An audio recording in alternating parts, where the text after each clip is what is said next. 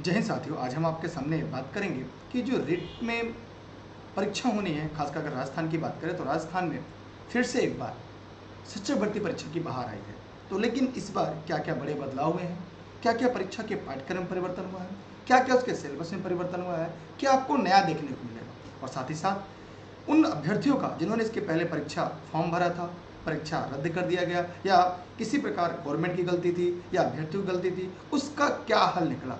और अब की बार एक सेट हमार करने के लिए क्या क्या करना पड़ेगा? क्या उत्तर प्रदेश या बिहार?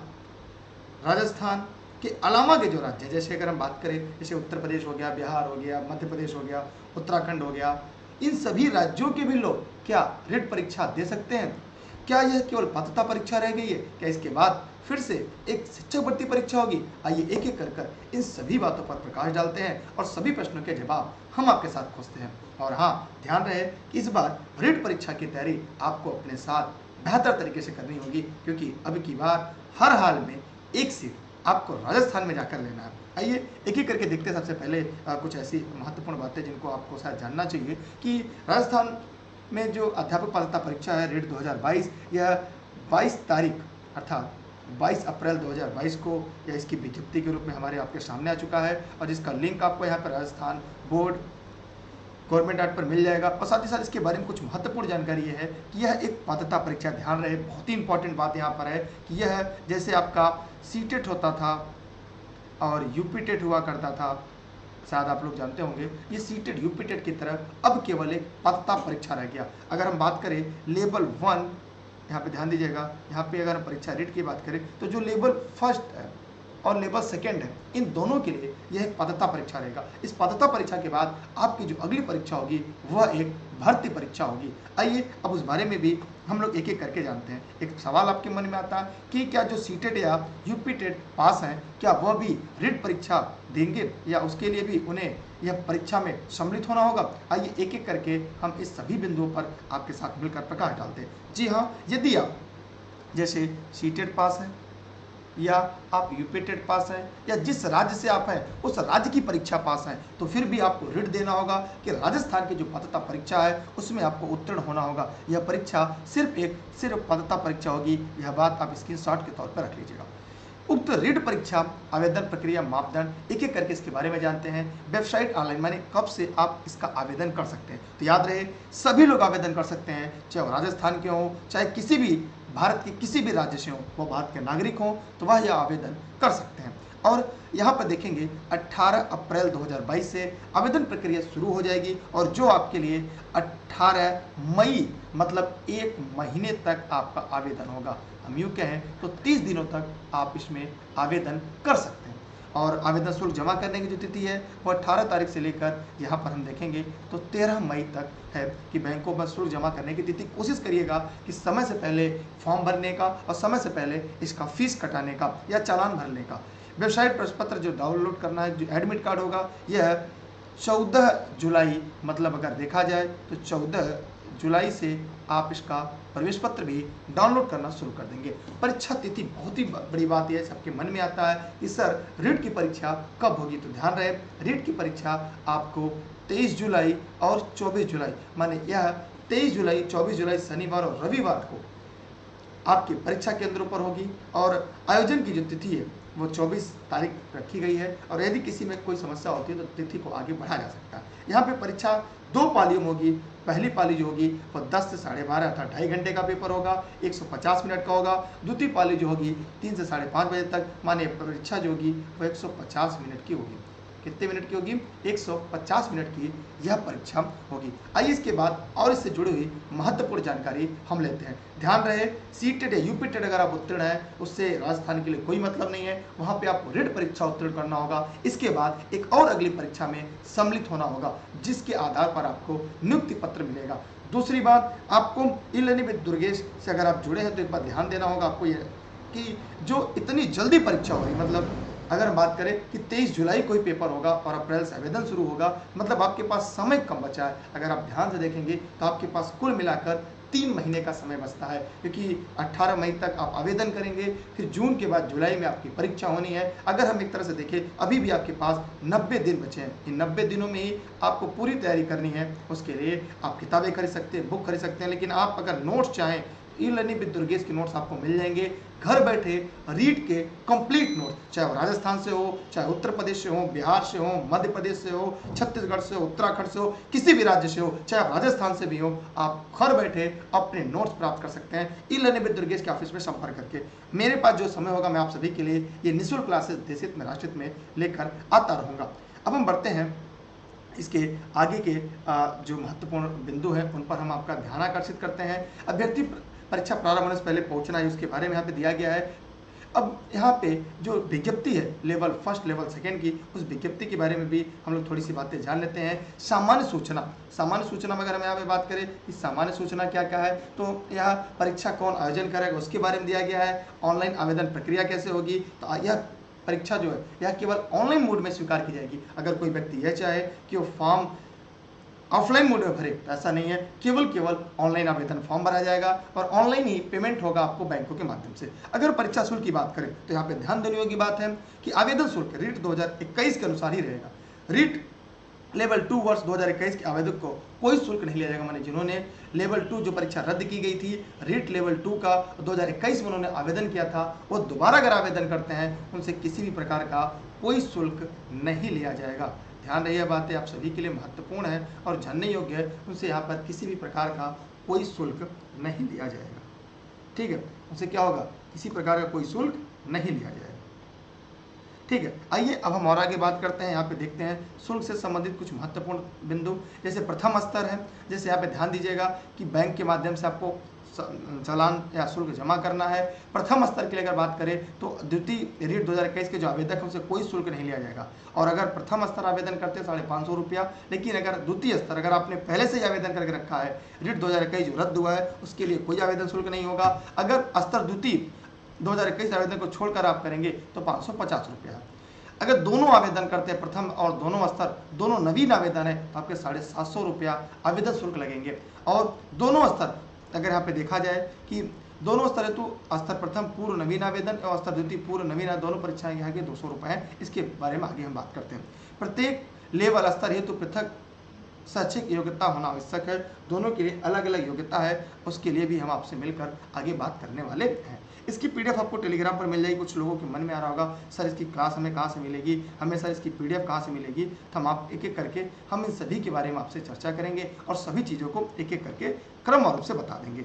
आइए यहाँ पे ध्यान से देखते हैं कि यहाँ पे आवेदन करने की क्या क्या प्रक्रिया है अभ्यर्थी को कैसे जमा करना है, कंप्यूटर से उसका जो कक्षा दस है, उसके आधार पर ही आपको सारा आवेदन फॉर्म भरना। जैसे हाई स्कूल के मार्कशीट में जो आपके नाम है, पिता के नाम है डेट ऑफ़ बर्थ है, वही आपका माना जाएगा, उसी के आधार पर आपका फॉर्म भरा जाएगा। तो इसलिए फॉर्म भरते समय ध्यान दीजिएगा, कोई त्रुटि ना होने पाए। ठीक है, आगे हम बात करते हैं यहाँ पे रेट दो हज़ार इक्कीस लेवल टू में जो आवेदन सर्वप्रथम जो पुराना था, वो नए आवेदन खुल जाएगा जिससे दो हज़ार इक्कीस में आवेदन भरे गए पिता, लिंग, जो भी था, वो समझ सूचनाएँ आवेदन द्वारा भरी जाएगी। आइए इसके साथ हम और आगे चलते हैं और आपको यहाँ पे शुल्क के बारे में दिया गया है, अन कैसे आवेदन करना है और लेकिन एक बात जो आप लोग को यहाँ पे जानना है, जो इसके बारे में हम लोग चर्चा करने जा रहे हैं कि रिट 2021 में 22 में बैठने की न्यूनतम शैक्षिक योग्यता क्या क्या होगी? राजस्थान अध्यापक पात्रता परीक्षा दो हज़ार इक्कीस में सम्मिलित होने के लिए न्यूनतम विभिन्न वर्गों के लिए अलग अलग मानक है। इसकी पीडीएफ हम आपको दे देंगे, वहाँ से आप इसको देख लेंगे, पढ़ लेंगे, शायद आपके जो कॉन्सेप्ट हैं वो और अच्छे से क्लियर हो जाएँगे। मतलब यहाँ बी टी सी और डी उनके लिए बी के लिए, इन सभी के लिए आपको क्लियर हो जाएगा। अगर प्राथमिक स्तर की बात करें तो 50 परसेंट अंकों के साथ उच्चतर माध्यमिक या प्रारंभिक शिक्षा शास्त्र में द्विवर्षीय डिप्लोमा हो, जिससे किसी भी नाम से जाना जाता हो, और उत्तीर्ण हो या अंतिम वर्ष में हो या अंतिम सेमेस्टर में होना चाहिए। और पैंतालीस परसेंट के साथ उच्चतर माध्यमिक, प्रारंभिक शिक्षा शास्त्र में द्विवर्षीय डिप्लोमा हो और राष्ट्रीय अध्यापक शिक्षा पत्र मान्यता मानक जो भी आपकी एनसीटी के जो गाइडलाइन हो, वो उसे फॉलो करता हो। पचास परसेंट के साथ माध्यमिक समकक्ष हो या चार वर्षीय प्रारंभिक शिक्षा शास्त्र में स्नातक हो। ठीक है? यहाँ पर मतलब यहाँ पे बी हो आपका। यहाँ पे क्या कर रहा है? बी की बात कर रहा है। ऊपर अगर आप देखेंगे पचास परसेंट मार्क के साथ दो वर्षीय डिप्लोमा एलिमेंट्री एजुकेशन हो। जैसे अगर उत्तर प्रदेश की बात करें तो बीटीसी है डी है आपका। तो यहाँ पर उसकी बात किया जा रहा है। उत्तर प्रदेश की अगर हम बात करें तो आगे हम देखते हैं। तो यहाँ पर हमारा हो गया, फिर 50 परसेंट अंकों के साथ क्या होना चाहिए यहाँ पे देखिए स्पेशल एजुकेशन वो भी हो सकते हैं। दिवसीय डिप्लोमा किसी भी नाम से हो, आप कर सकते हैं, स्नातक की प्रारंभिक शिक्षा में किसी भी नाम से हो। अगर हम छः से आठ तक के लिए बात करें तो देखिए छः से आठ के लिए यहाँ पर बी है। मतलब यहाँ पे प्राइमरी के लिए बी नहीं, लेकिन हाँ जूनियर के लिए यहाँ पे लेवल टू के लिए अगर हम बात करें, द्वितीय स्तर के लिए यहाँ पे बी को सम्मिलित किया गया है। ठीक है, यहाँ पे ध्यान दीजिएगा बी इसमें पूरी तरह सम्मिलित है, और यहाँ पे बी उत्तीर्ण, या बी कोर्स के अंतिम वर्ष में हो तो इस परीक्षा में भाग ले सकते हैं। उसके अलावा बी भी ले सकते हैं बी ले सकते हैं D El Ed B T C यह भी इसमें हिस्सा ले सकते हैं। आइए हम आगे चलते हैं।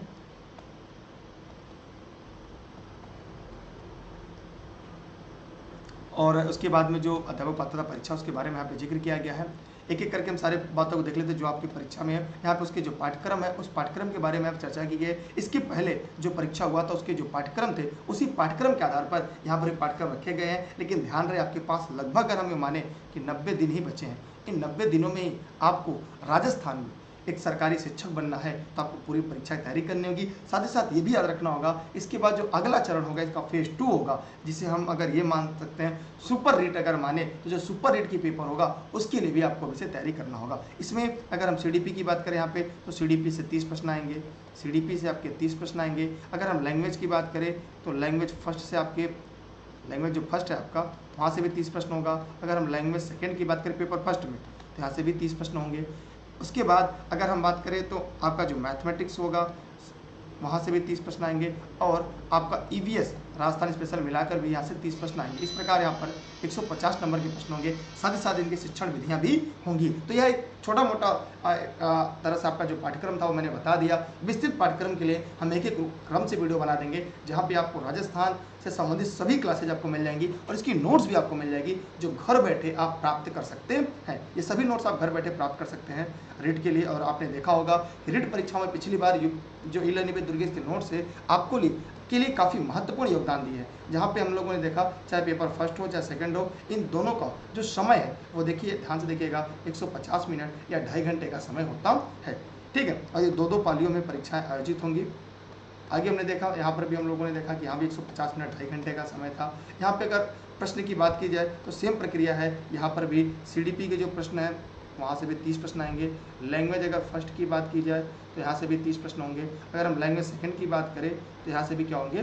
तीस प्रश्न आएँगे। उसके बाद आपके साठ प्रश्न की बात करें, अगर जैसे एसएसटी है आपका तो यहाँ से साठ प्रश्न होंगे। और अगर आप मैथ साइंस से हैं, अगर मैथ साइंस से है तो यहाँ से भी साठ। इस प्रकार हमने देखा, कुल बहुविकल्पी प्रश्न होंगे 150 प्रश्न 150 अंकों होंगे। अभी तक इसमें नकारात्मक अंक का कोई प्रावधान नहीं है, लेकिन इसकी अगली जो परीक्षा होगी, जो मुख्य परीक्षा होगी, वहाँ पे भी नकारात्मक अंक हो सकते हैं। तो आप लोग जितने भी साथी इस वीडियो को देख रहे हैं, अपने सभी साथियों को इस वीडियो को शेयर कर दीजिएगा। उसके बाद अगर आपके मन में यहाँ से कोई प्रश्न आ रहा हो, कोई सवाल आ रहा हो तो पूछ सकते हैं। इसके बाद इससे जुड़े हुए जो महत्वपूर्ण पत्ते हैं कौन कौन से टॉपिक पढ़नी है कौन कौन से टॉपिक नहीं पढ़नी है, और मार्कशीट कैसे भरना है एक एक करके क्रमवार रूप से हम आप लोग को बता देंगे, ताकि आपको किसी प्रकार की कोई दिक्कत ना हो। यहाँ पर एक महत्वपूर्ण है कि रेट के लिए न्यूनतम उत्तरणांक क्या होगा? तो सामान समान अगर आरक्षित की बात करें तो यहाँ पे 60 परसेंट है जो अदर स्टेट से देने के लिए जाएँगे, चाहे उत्तर प्रदेश से, बिहार से, मध्य प्रदेश से, छत्तीसगढ़ से, उत्तराखंड से तो उनके लिए साठ है। बाकी टीएसपी की अगर हम बात करें तो जो वहाँ के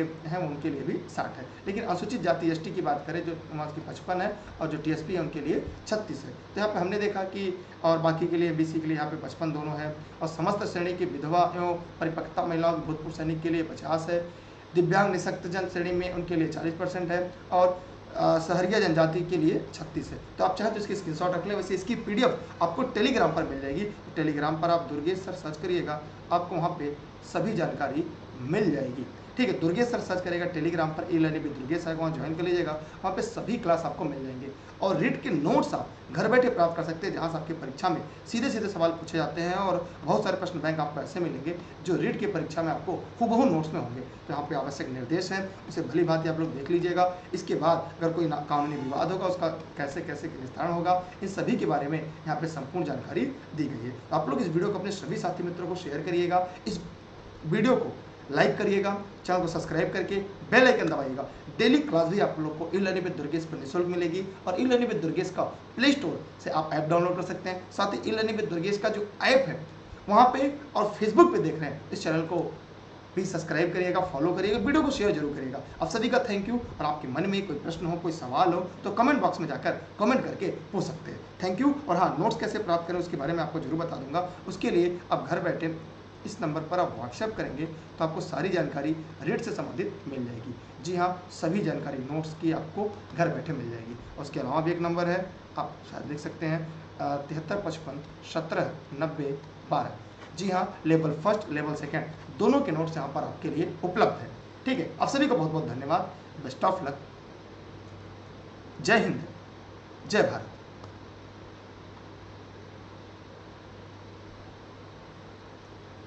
क्या आप भी सरकारी शिक्षक बनना चाहते हैं? तो आज ही ई लर्निंग विद दुर्गेश के साथ जुड़कर अपने सपनों को साकार करिए।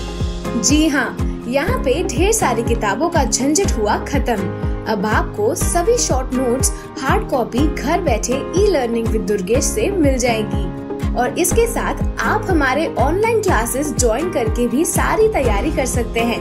क्योंकि अब की बार एक सीट हमारी। ऑनलाइन क्लासेस में practice sheets, model paper online live और रिकॉर्डेड सेशन और पीडीएफ नोट्स भी। ई लर्निंग विद दुर्गेश का ऐप प्ले स्टोर से डाउनलोड करें और शुरू कीजिए अपनी लर्निंग जर्नी अधिक जानकारी के लिए कॉल करें six three zero six three double four three six seven seven three double five one seven nine zero one two